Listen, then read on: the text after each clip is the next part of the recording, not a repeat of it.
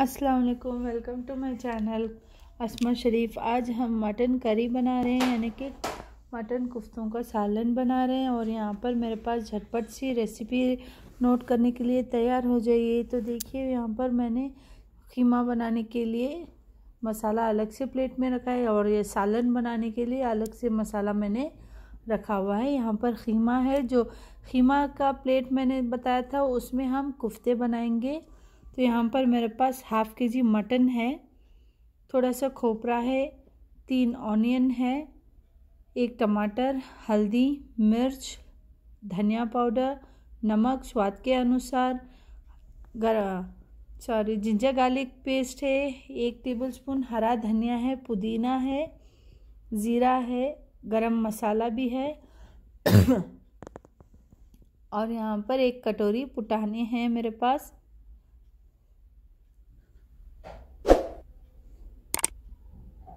अभी हम गार्निश के लिए एक टमाटर है, हरा धनिया, पुदीना दोनों मिक्स करके मैंने काट कर रखा हुआ है और थोड़े से ऑनियन को हमने स्लाइस कर कर रखा हुआ है।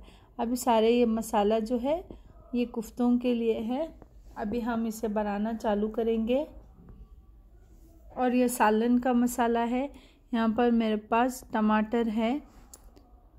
मेरे पास पाँच से छः टमाटर है, ऑनियन, दो ऑनियन है, टमाटर है हरा धनिया है, अदरक लहसुन का पेस्ट है, हल्दी है, नमक स्वाद के अनुसार, लाल मिर्च पाउडर, धनिया पाउडर थोड़ा सा खोपरा भी है।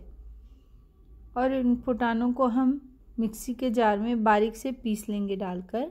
पाउडर बारीक यानी बहुत बारीक नहीं, बहुत मोटा भी नहीं, एक मीडियम हिसाब से आप इसको पीस लीजिएगा। और इसके बाद हम इसमें अलग से काट कर एक बाउल में, छोटे से बाउल में काट लेंगे। काटने के बाद एक कढ़ाई में हम, कढ़ाई या नॉन स्टिक पैन है तो आप इसमें बग़ैर तेल या बटर ऐड किए, इसे थोड़ा सा रोस्ट कर लेंगे हम। बहुत ज़्यादा नहीं, बस एक से दो मिनट तक हम इसे धरधरा सा भून लेंगे। भूनने के बाद हम इसे एक अलग से बाउल में काट लेंगे। अभी इन जो जितने भी मसाले हैं, इन सारे मसालों को हम मिक्सी के जार में डालकर सबको पीस लेंगे। सारे मसालों को पाउडर, लाल मिर्च, हरा धनिया, सब कुछ डालकर पीस लेंगे हम। पीसने के बाद इसके पेस्ट को अलग से प्लेट में काट कर रख लेंगे। देखिए, इस तरह से ये कुछ हो जाएगा। इस तरह से आप पीस कर काट लीजिएगा। और खीमे को हम इसमें मिक्स कर लेंगे अच्छे से। मिक्स करने के बाद हम फिर एक बार मिक्सी में डालकर इसे पीस लेंगे। आपको इसे अच्छे से मिक्स करना है, चम्मच की मदद से नहीं होगा तो हाथ से ही आप इसको अच्छे से मिक्स कर लीजिएगा। जब तक ये मसाला इसमें मिक्स नहीं होगा, आपके कुफ्ते अच्छे नहीं होंगे। इसे सारे मसाले को मिक्स करने के बाद जो फुटानों का पाउडर हमने पीस कर रखा हुआ था पाउडर बनाकर, और उसको रोस्ट भी किया था हमने, इस तरह से वो भी हम इसमें मिक्स कर लेंगे। मिक्स करने के बाद अच्छे से फिर मिक्सी में डालकर हम इसमें पीस लेंगे। तो अच्छे से मिक्सी में इसे हमें फिर से एक बार पीस लेंगे। पीसने के बाद, यानी पीसने का मतलब मैंने अच्छे से मिक्स करना है इसको। सारे मसालों के साथ एक टेम अच्छे से पीसने के बाद हम इसे कुफ्ते बना लेंगे इसको। प्लेट में काट लेंगे। अभी प्लेट में काटने के बाद हम इसको छोटे छोटे से बॉल्स बना लेंगे, यानी कि कुफ्ते बना लेंगे हम।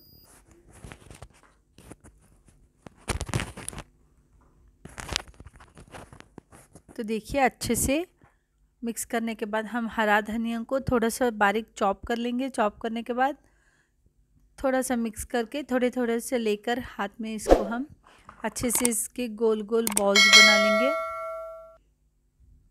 छोटे छोटे से।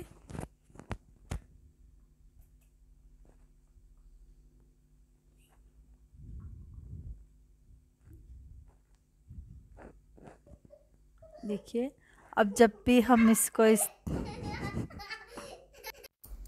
एक छोटी सी कटोरी रख लेंगे हम। कटोरी में एक कोलसा जलाकर रख लेंगे कोलसे को।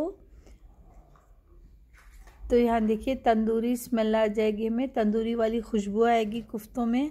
तो इसे एक प्लेट से हम ढक देंगे।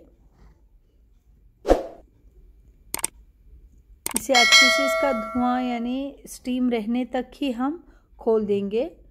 देखिए, बस इसकी खुशबू इस तरह से इसमें आ जानी चाहिए।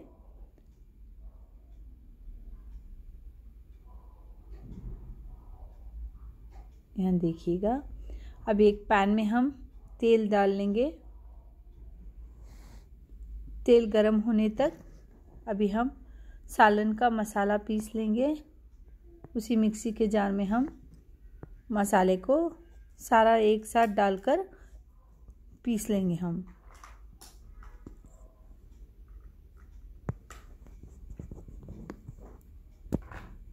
देखिए, तेल गर्म हो चुका है हमारा। अभी हम कुफ्तों को एक बार इसमें गर्म कर लेंगे, अच्छे से बॉईल होने तक। फिर हम इसे पाँच मिनट तक ऐसे ही ढककर छोड़ेंगे। देखिए तेल डालकर फ्राई कर लीजिएगा। फिर उसके बाद एक कप पानी डाल दीजिए। पानी डालने के बाद इसको हम मूझ कर उसी में छोड़ देंगे। यहाँ पर मैंने पतीला रखा है। उसमें तेल डाला हुआ है गर्म होने के लिए। हमारे तेल गर्म हो चुका है। ऑनियन और कोथिमीर को, यानी कि हरी धनिए को हम थोड़ा सा डालकर फ्राई कर लेंगे। फ्राई करने के बाद यहाँ देखिए हमारा मसाला मैंने पीस लिया है। पीस कर मैंने इसे काट लिया है।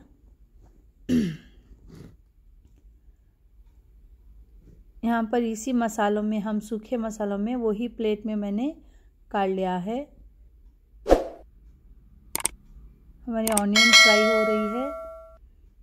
और थोड़ा हरा धनिया डाल दूँगी मैं, और थोड़ा सा पुदीना डालकर इसी में फ्राई कर लूँगी ऑनियन को अच्छे से। ऑनियन अच्छे से गोल्डन फ्राई होने के बाद सारा मसाला हमने इसमें डाल दिया है।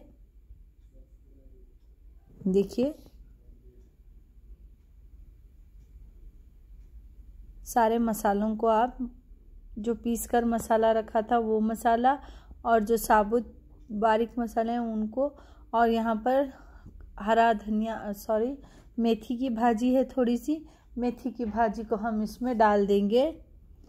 और यहाँ पे कुफ्ते हमारे बनकर तैयार हो चुके हैं। अभी इन सारे कुफ्तों को हम सालन में डाल देंगे। देखिए।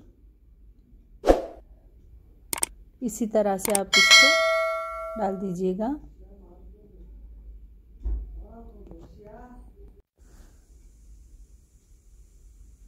देखिए, मैंने कुफ्तों को मसालों के साथ डाल दिया है और इसे अच्छे से हम पका लेंगे। पंद्रह से बीस मिनट तक हम इसे अच्छे से पका लेंगे। पकाने के बाद दस मिनट तक हम इसे स्टीम के लिए छोड़ देंगे।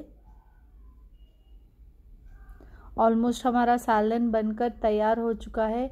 आप भी इसी तरह बनाइएगा। एक बार ट्राई कीजिएगा। आपको कैसा लगा कमेंट में बताना ज़रूर। मेरी रेसिपी आपको कैसे लगी, ये बताना ज़रूर। शायद आपको पसंद आए तो भी बताइए, ना पसंद आए तो भी बताइए।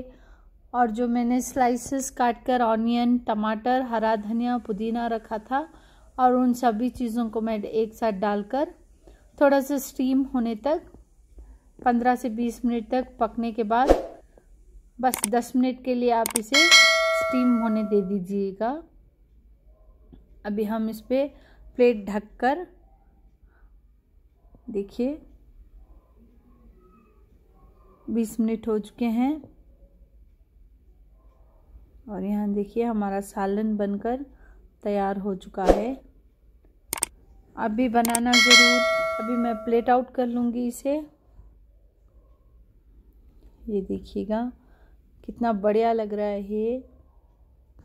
खाने में भी बहुत स्वादिष्ट रहता है ये। आप एक बार ट्राई कीजिएगा। ट्राई करने के बाद मुझे बताना ज़रूर कमेंट में कि आपको ये सालन कैसा लगा। हमारी रेसिपी और हमारे चैनल को लाइक करना सब्सक्राइब करना मत भूलना। थोड़ा सा आपका भी सपोर्ट चाहिए।